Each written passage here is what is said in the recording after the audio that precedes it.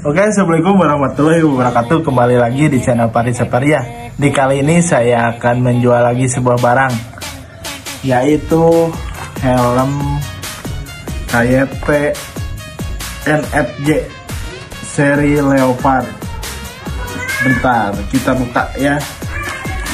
Ini dia barangnya bosku. Ini ukurannya M